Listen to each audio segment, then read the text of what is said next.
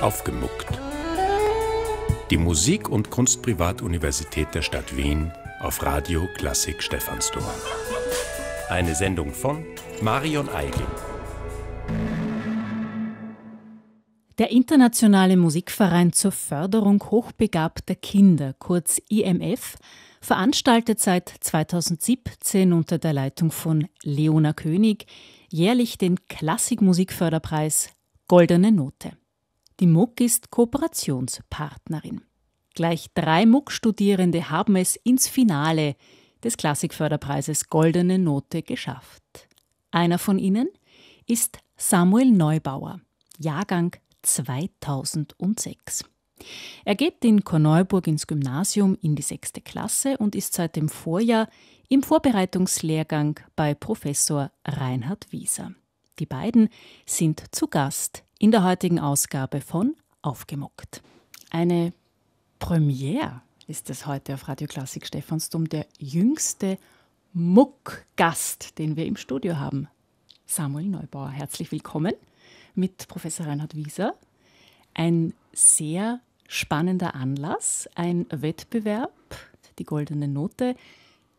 Wir sprechen über den Wettbewerb, wir sprechen über die Spannung davor, die Situation, wie man sich fühlt, wie man vorbereitet wird, wie man mit dem ganzen Rummel umgeht. Aber zunächst mal bitte eine Vorstellungsrunde.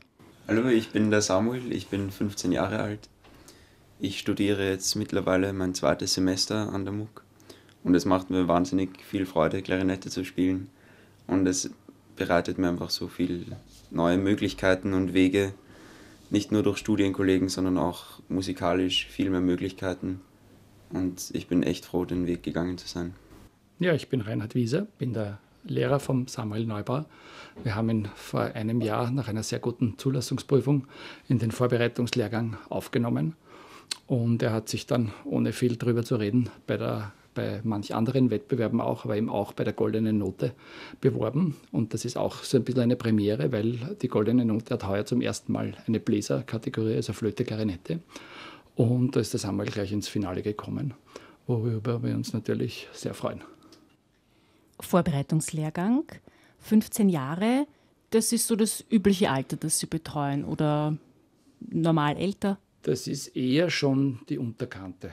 Also äh, normal fangen wir so, ist, ist mit 17, 18 ein Jahr Vorbereitungslehrgang.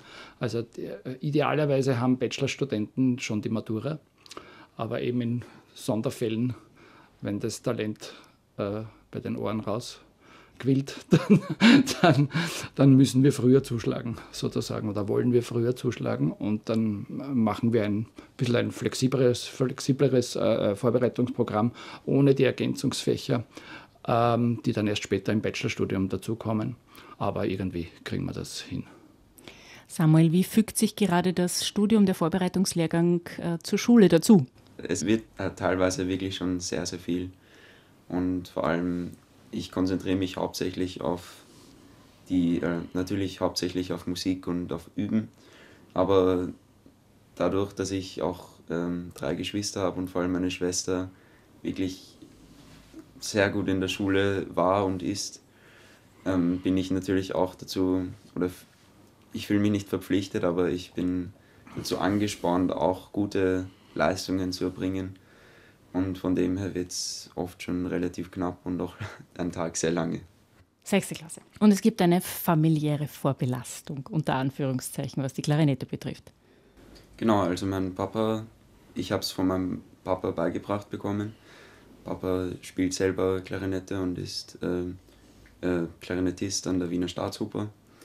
Und es ist recht lustig dazu gekommen, wie ich zum Klarinette spielen begonnen habe ich habe mit der Blockflöte begonnen und bin dann ungefähr ein, zwei Jahre später mit sechs Jahren auf eine Essklarinette gestoßen, die bei uns im Wohnzimmer auf dem Couchtisch gelegen ist. Und die habe ich mir dann mal geschnappt und einfach mal ein bisschen herumprobiert. Es ist, sind zwar keine schönen Klänge herausgekommen, aber es war meine erste Erfahrung mit der Klarinette. Und kurze Zeit später, ungefähr ein halbes Jahr später oder so, habe ich meine erste Klarinette bekommen und ich habe begonnen, Klarinette zu spielen. Herr Professor Wieser, wie ist es, wenn man natürlich, es ist ja eine Klarinettenfamilie unter Anführungszeichen auch in Wien. Man kennt einander. Wenn man den Sohn eines Kollegen bekommt, den man wahrscheinlich schon lange kennt, man kennt den Vater. Ja, das ist wunderschön in, dem, in diesem speziellen Fall, weil ich den Stefan Neubauer wirklich schon sehr lange kenne. Und wir haben auch schon Konzerte gemeinsam gespielt und, und sind einfach Kollegen und Freunde, die, die sich sehr schätzen gegenseitig. Und das hat sich eben wunderbar ergeben mit Samuel. Und wir haben beim, beim Burgauer Kultursommer gemeinsam, auch mit Samuel gemeinsam ein Konzert gespielt und so. Und so habe ich den Samuel auch so ein bisschen wirklich kennengelernt und dann haben wir eben Vorspieltermine ausgemacht. Und das ist, ist schon sehr angenehm, wenn, man, wenn, man, wenn die Familie das so unterstützt. Auch die Mama vom Samuel äh, unterrichtet Geige an der Musikschule. Also ist da wirklich ein großes, großes Verständnis für Musik da. Und es spielen auch zwei meiner Kinder Klarinette, also es ist und Flöte auch. Und also es ist da schon, die machen das nicht so professionell, aber, aber es ist, ich muss mir Klarinetten am Wohnzimmertisch herumliegen lassen, das sehe ich jetzt schon. Dann geht es von selber. Weil das, das Lustige ist ja, dass man ja normal nicht auf einer S-Klarinette anfängt. Die ist nämlich sehr, sehr schwer. Das ist eine ganz kleine Klarinette, bringt man sehr schwer auch einen Ton raus. Und, aber irgendwas muss da richtig gelaufen sein beim Samuel, natürlich.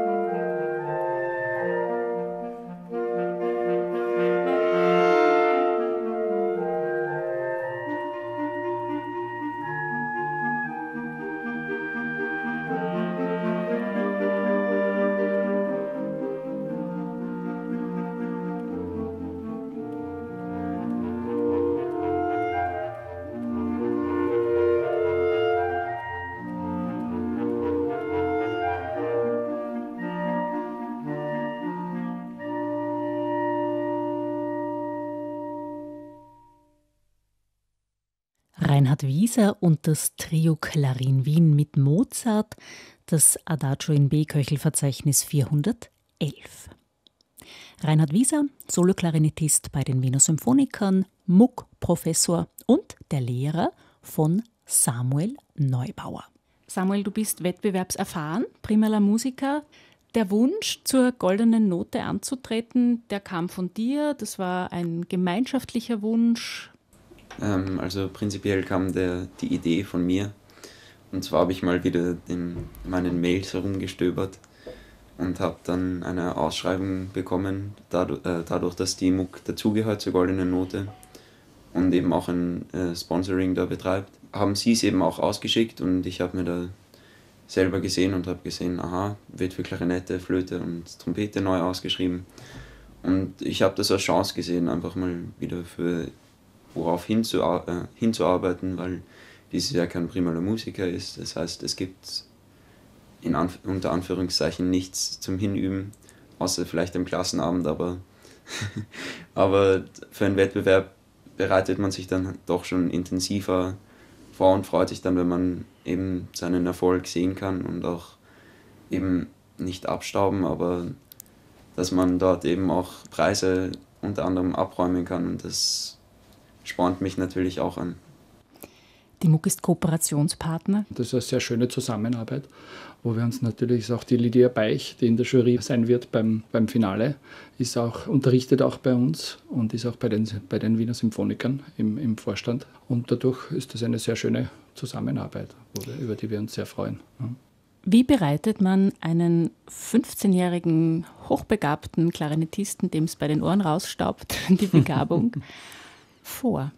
Was ist das Essentielle, wenn Sie jemanden auch vorbereiten? Mhm. Was ist Ihnen besonders wichtig?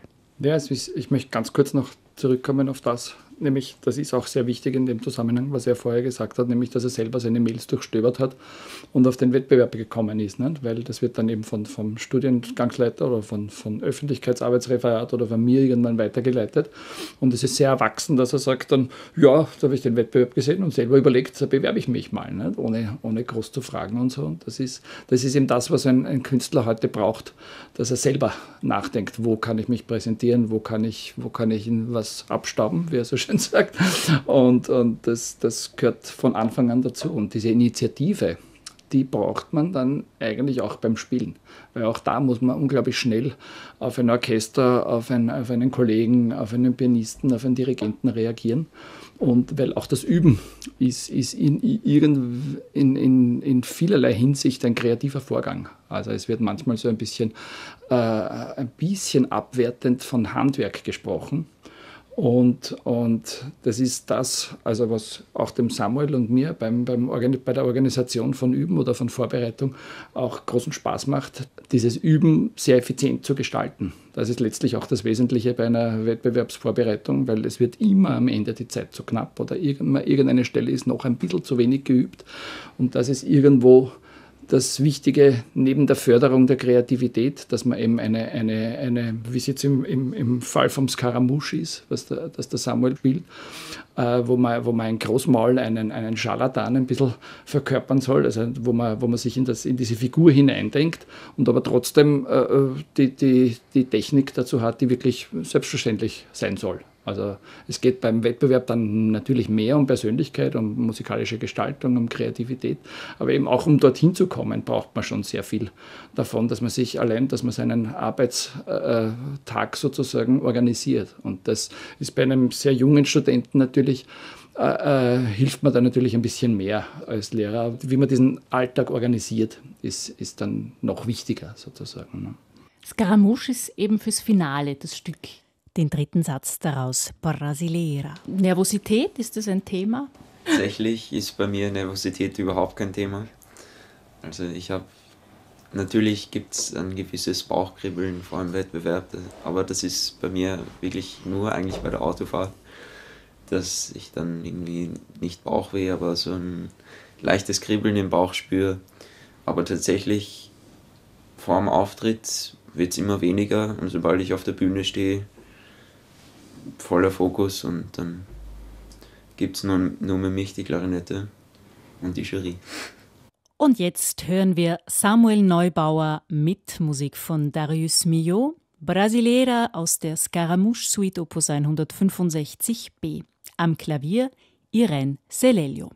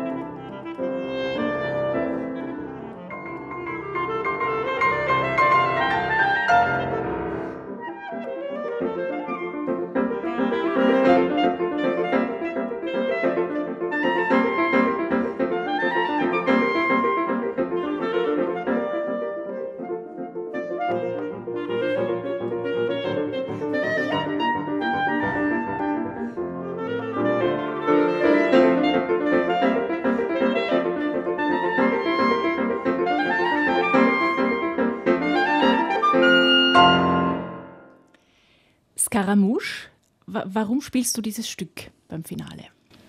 Also tatsächlich bin ich durch meinen Papa draufgekommen. Wir haben uns ein zweites Stück überlegen müssen und wir haben irgendwie nichts Gescheites gefunden. Wir haben uns im Weber-Konzert fürs Halbfinale überlegt und im Halbfinale habe ich noch ein zweites Stück gebraucht. Und es ist ein sehr witziges und auch gleichzeitig sehr verspieltes Stück und mein Bruder hat es damals schon gespielt und dann sind wir beide irgendwie gleichzeitig so mehr oder weniger draufgekommen, dass ich vielleicht da spielen könnte. Und es ist ja eine Art Samba. Es hat ja den Brasil äh, brasilianischen Einfluss von Mio, der ja eine Zeit lang während des Ersten Weltkriegs in Brasilien war, eben übernommen.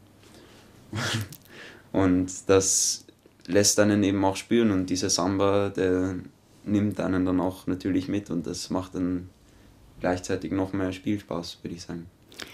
Die Leute müssen dich tanzen sehen, so eine Bemerkung von Reinhard Wieser zu Samuel Neubauer. Finalist beim Klassikförderpreis Goldene Note. Der internationale Musikverein zur Förderung hochbegabter Kinder veranstaltet seit 2017 unter der Leitung von Leona König jährlich den Klassikmusikförderpreis Goldene Note. Die MUG ist Kooperationspartnerin. Höchst professionell sei alles organisiert und mit viel Engagement und Herz durchgeführt, betonen meine Studiogäste. Wo möchtest du einmal hin mit deinem Instrument? Ich möchte auf jeden Fall Menschen Freude bereiten mit meiner Musik. Ich habe jetzt keinen wirklich konkreten Wunsch. Ich würde mich würde es wahnsinnig freuen, Orchestermusiker zu werden. Natürlich würde ich auch, also ich, mich würde es auch natürlich sehr freuen, eine Solokarriere zu starten, was nicht vielen Leuten gegönnt wird oder was nicht viele Leute schaffen. Aber vielleicht ist es auch gut, sowas sich als Ziel zu setzen und darauf hinzuarbeiten. Und natürlich kommt immer, es gibt super Musiker, die vielleicht nicht immer entdeckt werden. Und da gehört halt eben oft auch ein, ein Händchen mit voll Glück dazu. Und ich schaue einfach, wohin mich mein Weg führt. Ich will mir mein, wo, wo sich Türen schließen, werden sich andere Türen öffnen und von dem her will ich schauen, dass ich meinen Weg gehe. Was passiert, das kann ich dann immer selber entscheiden. Ich habe jetzt nicht einen konkreten Wunsch und wenn, ich, wenn sich der nicht erfüllt, dann wäre ich unglaublich traurig, sondern ich schaue einfach, dass ich meinen Weg gehen kann und irgendwo werde ich schon mal landen. Aber dein Plan ist jetzt schon mal Matura und ein Musikstudium. Auf jeden Fall, also Matura. Ich möchte noch die zwei Jahre irgendwie durchbekommen. Ich will jetzt keine schlechten Leistungen erbringen, aber ich möchte schauen, dass, ich's, dass ich zufrieden bin, wie ich meine Schulkarriere abschließe und dann mit vollem Fokus in die, ins Musikerleben einsteigen kann. Was die Musikwünsche meiner Gäste betrifft, konzentriert sich Samuel Neubauer vor allem auf den Wiener Klarinettenklang. Er hat Peter Schmiedl vorgeschlagen mit Mozarts Klarinettenkonzert unter Leonard Bernstein oder Brahms mit Karl Leister.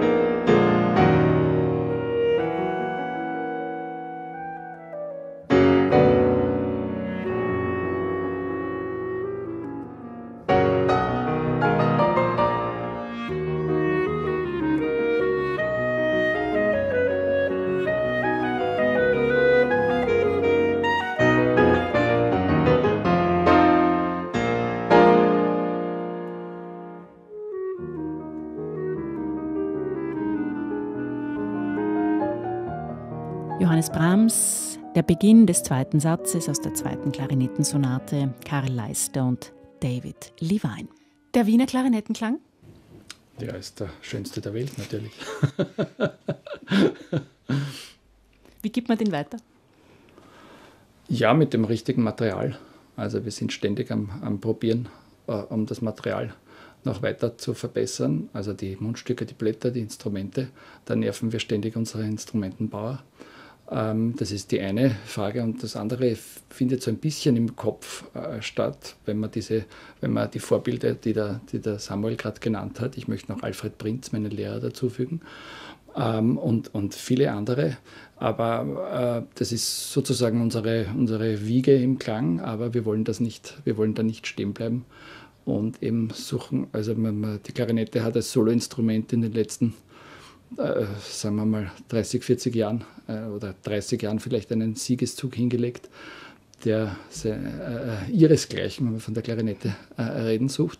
Und das ist eine ständige Inspiration. Ne? Sie, wenn man jetzt, ob, egal ob man jetzt von Alessandro Carbonare oder von Martin Fröst oder von, von Matthias Schorn bei den Wiener Philharmonikern, von der Ottensamer Familie redet, da wird überall auf allerhöchstem Niveau äh, Klarinette gespielt, ob Ensemble, Solo oder Orchester. Und es ist einfach eine ständige Herausforderung und eine wunderschöne, das weiterzuführen irgendwo. Im, also für mich im, bei Orchester und Kammermusik oder wenn man mal ein Mozart-Konzert spielt. Für die junge Generation Richtung, äh, mehr Richtung zeitgenössische Musik. Immer auf gutem, auf einer guten Grundausbildung sozusagen basierend gibt es da Möglichkeiten wirklich ohne Ende.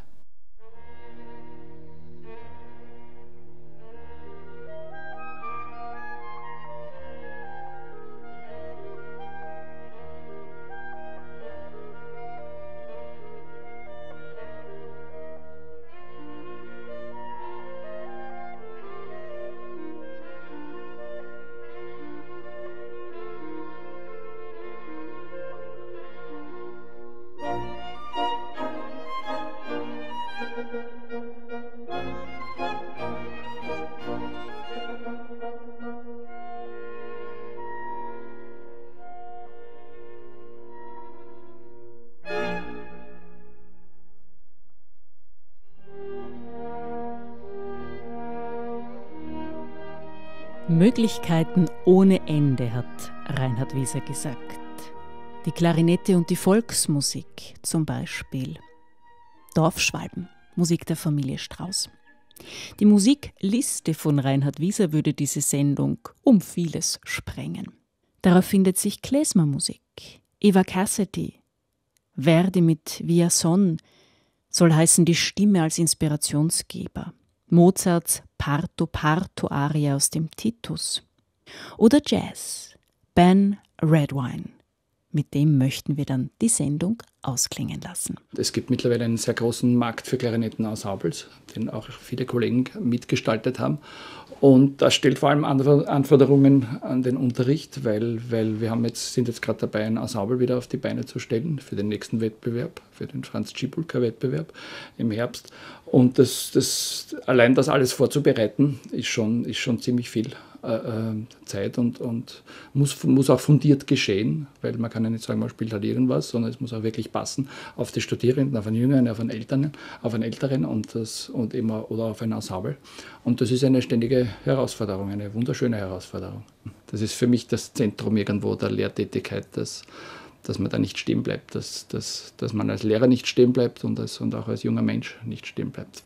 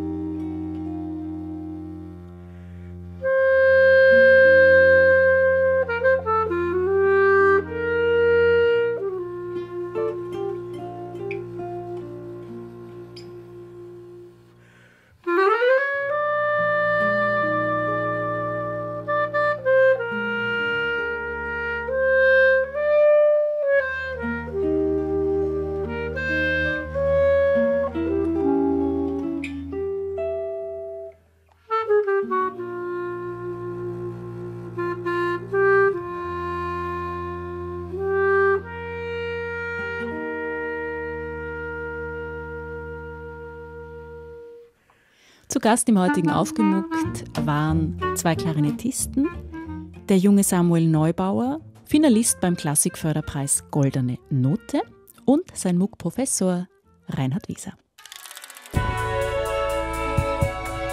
Aufgemuckt. Die Musik- und Kunstprivatuniversität der Stadt Wien auf Radio Klassik Stephansdom. Eine Sendung von Marion Eigel.